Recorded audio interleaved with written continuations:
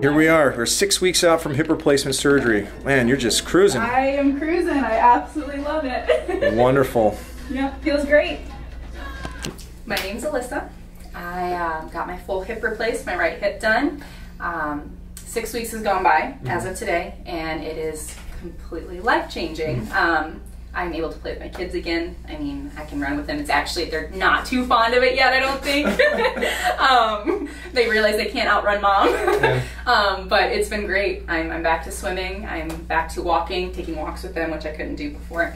Um, there's virtually no pain. And when I do, it's Tylenol occasionally, just from mm working it a little bit. Mm-hmm. Um, but it's been great. Absolutely Wonderful. great. Absolutely great. Best decision ever. Seriously. Excellent. Not for the kids, maybe, but for me. Because now mom can be disciplinary. Yes, they're like, run.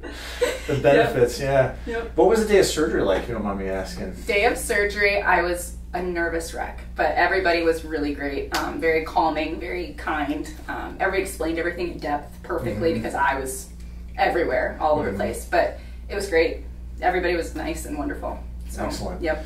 And how did you do the last six weeks after surgery? You know, it's always like, do you slow down? How do you manage life, being especially a yeah. young mom? I yeah, I listened to my body more than anything. Um, I I simply just went to what I felt was good for it and not too much. And then if it was telling me it was too much, I just went back and it was Excellent. fine. Yeah. yeah. But other than that, yeah.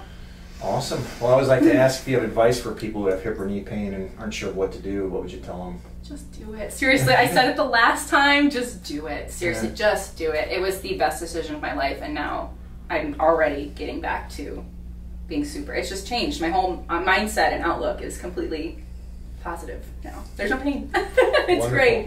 Well, it's thank great. you. Yep. Thank you so much. It's been my privilege yes. to be thank a doctor. You. I appreciate so you.